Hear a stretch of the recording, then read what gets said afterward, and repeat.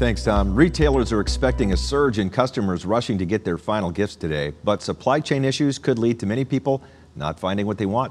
Matthew Foltz joins us now with what experts say you can do during this final day of shopping. Good morning, Matthew.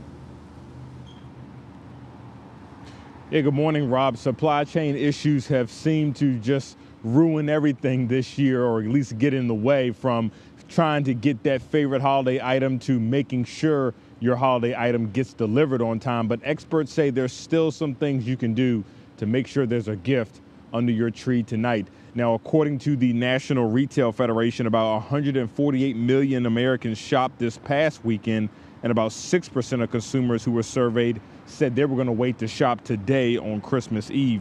Now, experts say if you're among those shopping today, you might want to try small businesses if those big name stores don't have exactly what you need. And there's always that option you can go with of getting gift cards or online digital gifts that don't require that shipping. However, experts also add that everyone will just have to be flexible this year if your items don't arrive on time or by tonight.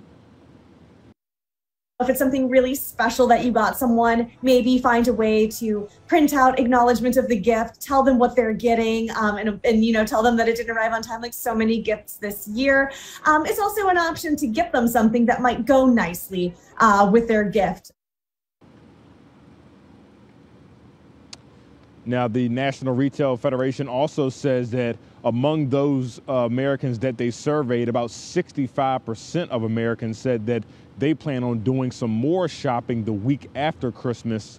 So might be some sales. So, Rob, I guess just fingers crossed for everyone at home who's waiting on those last minute gifts and for those who have to venture out this evening.